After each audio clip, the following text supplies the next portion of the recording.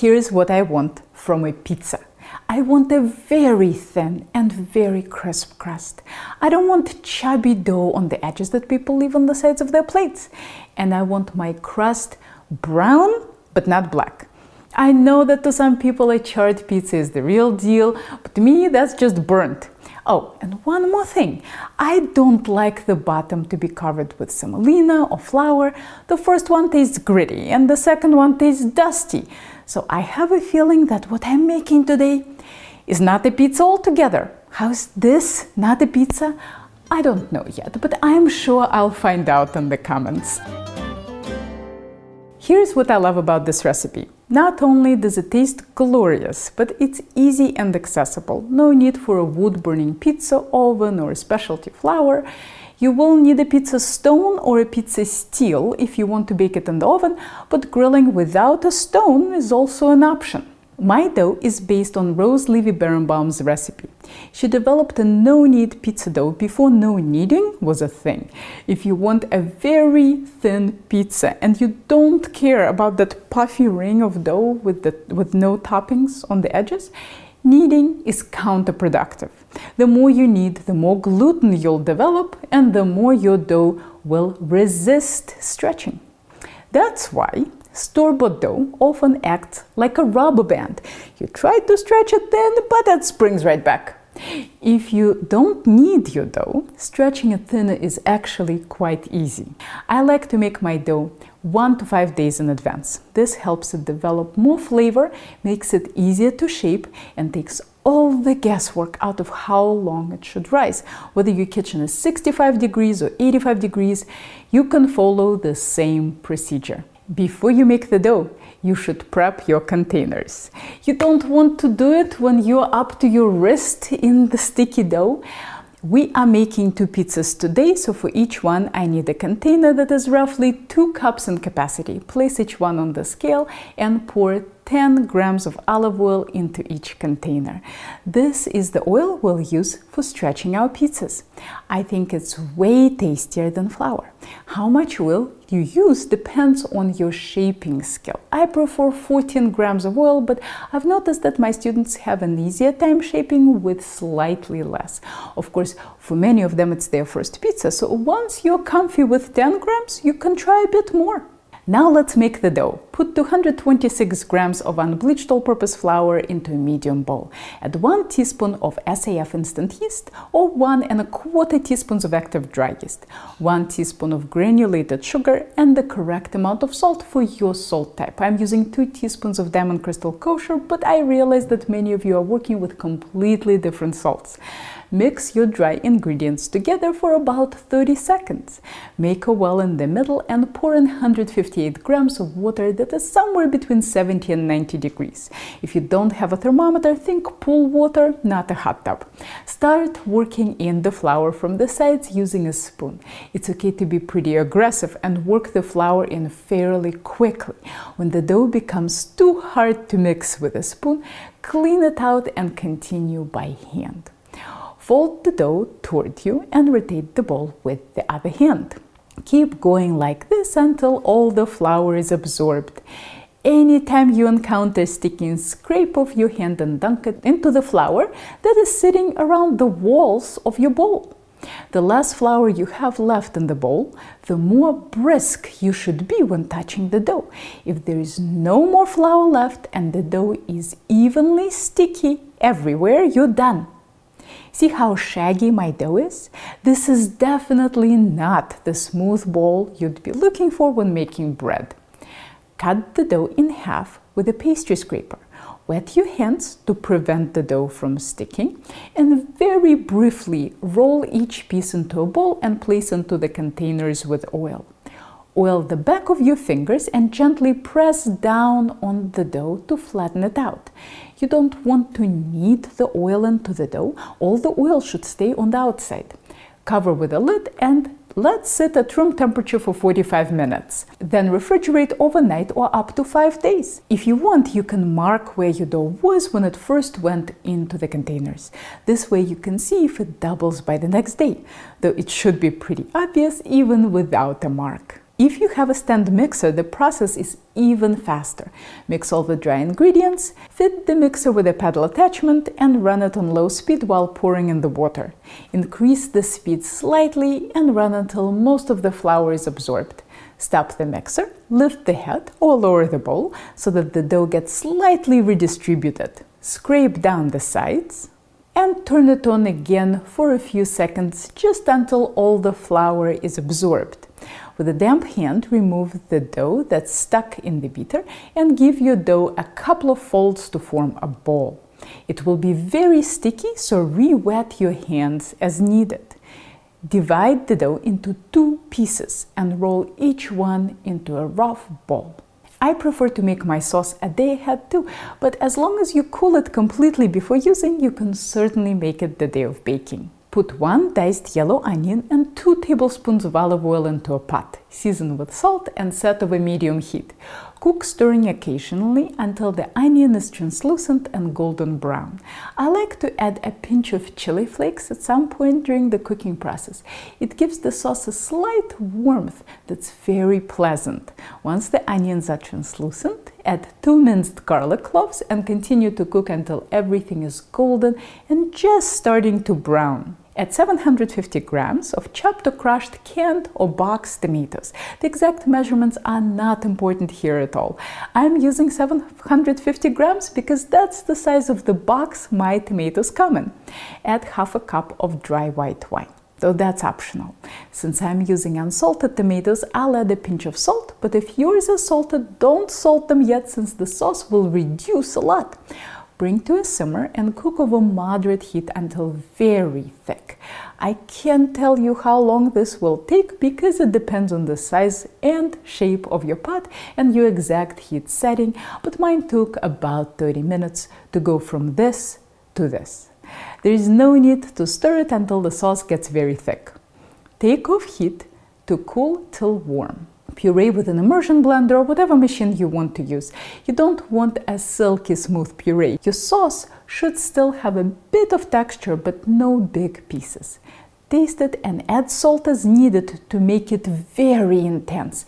Mine didn't need any additional salt. What I put in the beginning turned out to be good. Keep in mind that you'll be spreading a very, very thin layer of sauce on your pizza. So if your sauce is not a serious flavor bomb, you'll have a bland pizza. This amount of sauce will be enough for four pizzas. The leftover sauce is delicious on pasta, shrimp, fish, and pretty much anything. The next day, set a pizza stone or steel on the bottom rack of your oven and preheat it to 500 Fahrenheit for 30 minutes. Some ovens need even longer, so if your first attempt at pizza doesn't come out crispy, preheat for a full hour. The cheese that I like to use is whole milk, low moisture mozzarella. Fresh mozzarella is super wet and is not really appropriate for this style of pizza. I know you can buy mozzarella already shredded, but 90% of the time it will be coated with so much cellulose that it will not taste good after melting. So it's best to buy your mozzarella in one piece and shred it yourself. I really like Calabro brand, but I'm not sure if it's available everywhere in the US or just in the New England area. Buying mozzarella can be somewhat tricky because the low moisture ones don't always say that on the package. So I usually go by the process of elimination. If it's in water, it's definitely fresh. If it's in a thin plastic wrapper like this one and you don't see the words fresh mozzarella on the package, it's probably low moisture. By the way, it's fine if it has some marketing BS like made from farm fresh milk, as long as it's the milk that's fresh and not the mozzarella that's fresh, it's good. One pound of mozzarella will make about four pizzas. Place a piece of parchment paper on your work surface. Dislodge the dough from the sides of the container with your fingers. Plop it into your hand. Pour the remaining oil into the middle of the parchment and place the dough in the middle of the parchment oily side down. Shimmy it around to make a slightly bigger circle of oil. It's normal for the olive oil to solidify slightly, especially if the dough was in the fridge for a few days. Scoop it out with your fingers and draw a circle with the soil around your dough to make roughly an inch and a half border. Leaving the periphery of your parchment unoiled will help the dough grab onto the paper and stay thin instead of sliding back down toward the center. With flat oiled hands, pat the dough flat. Instead of thinking of the step as stretching, think of it as patting and thinning.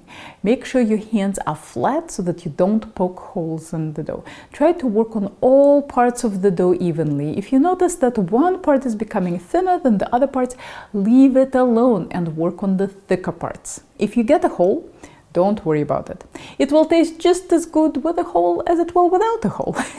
but you can avoid holes by using flat hands and keeping the dough even. A common mistake is to stretch from the center, which results in the middle being too thin and the outside too thick. Try to avoid that and pat the outer parts flat to thin them out. My pizzas are never round because the parchment paper is rectangular and not square. So for me to stretch the dough as thinly as I like, I have to shape it into an oval. Yes, it's normal for the dough to shrink a bit when you stop stretching. Wait for it to stop, then evaluate if it's the thickness you want. If you want it thinner, work on it some more.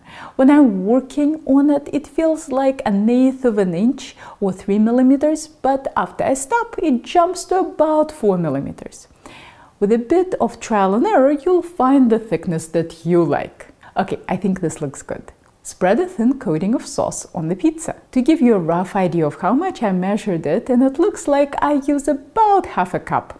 But of course that will depend on the size of your pizza. I like to spread my sauce very close to the edges.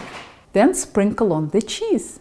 This is again something you'll have to experiment with to find the amount that's right for you. Depending on which parchment paper you use, you might or might not have an issue with the corners turning black and crumbly in the oven. This parchment paper will be fine. The corners will darken but won't burn. But if you're worried about it, wipe the oil off the edges with a paper towel and trim the corners with scissors. By the way, it's very important that you don't get any oil or toppings on the underside of the parchment paper. They can seep into your pizza stone and stink up your kitchen every time you use the stone since the stones are porous and it's impossible to wash anything off them. Put the pizza on a peel or a rimless baking sheet and slide onto the stone, parchment paper and all. It will slide very easily, so don't push too hard. Try to do this quickly so that you don't lose the oven heat. Bake for 7 to 8 minutes. I don't like to use the convection fan for pizza since it tends to burn the cheese on top. The pizza is done when the bottom is brown and crisp. Yes, you should lift the dough and check before pulling the pizza out. To get the pizza out of the oven, place the rimless baking sheet on the stone, grab both the pizza and the parchment and drag onto the sheet. Slide it onto the cutting board and pull out the paper. I'm kicking myself now that I didn't record the sound of cutting it on a good mic, but here it is on a bad mic. As Chef John says, fork don't lie. Thin crust, check. Crispy bottom, check. Nicely browned edges, check. I know this pizza defies categorization. It's not Neapolitan, it's not New York, it's Rose Levy Beranbaum plus Helen Rennie. If you haven't tried it, you don't know what you're missing. Here are some questions that I get about pizza in my classes. Can I make the dough the day of baking? Yes, it will take somewhere between one and a half to three hours to rise depending on the temperature of your kitchen. Can I double or triple the recipe? Absolutely. If you're making the dough by hand, I suggest you don't mix more than four pizzas at the same time.